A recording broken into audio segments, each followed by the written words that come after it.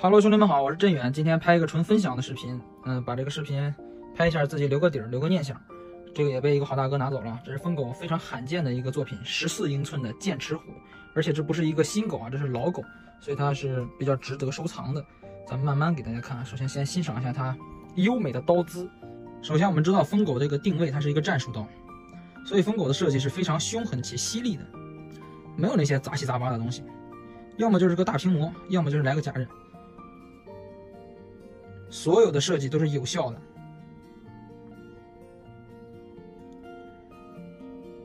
花里胡哨的东西你在疯狗身上看不到，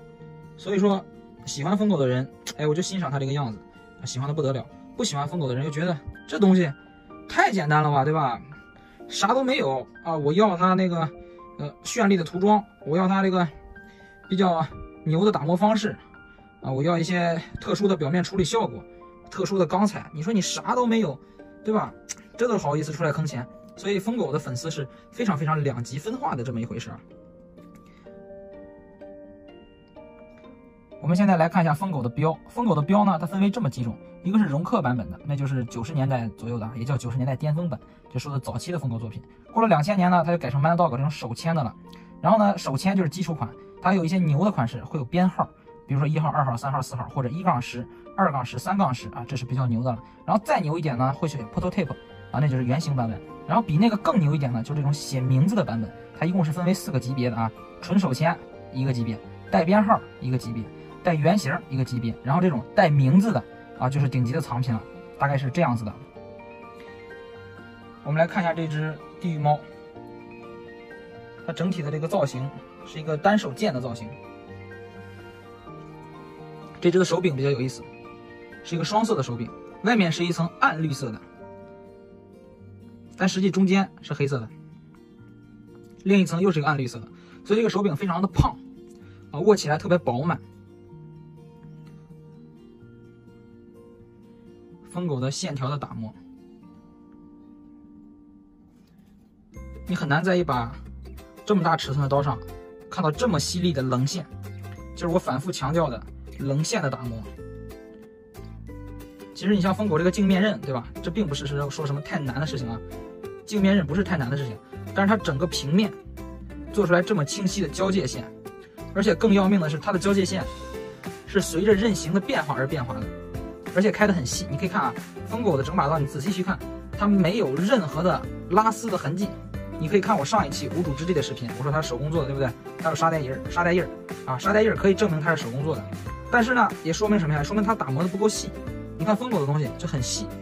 啊，这一点的话，大家可以看一下龙爪 DC 它的微博，他说过这件事啊。要想这个整体的表面处理好啊，看不出来纹路，就要做的细，极度的细化。看一下整个疯狗这个回火线啊，在这个角度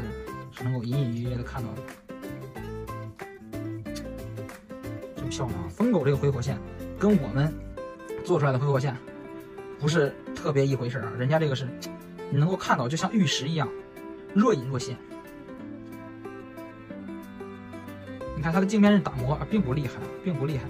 但是它这个回火线，我们找好固定的角度来欣赏的时候，看起来赏心悦目啊，很舒服。Mad Dog 的顶级藏品，